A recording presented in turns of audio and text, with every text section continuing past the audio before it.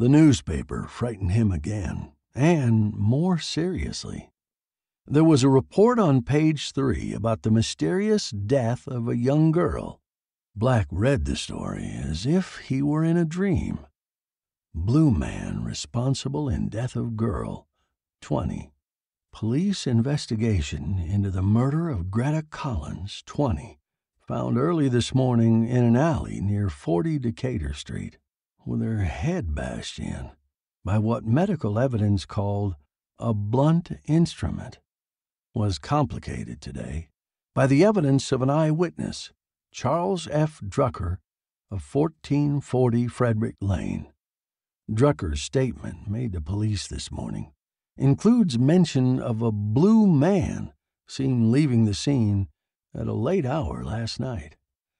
Police state that they are investigating Drucker's testimony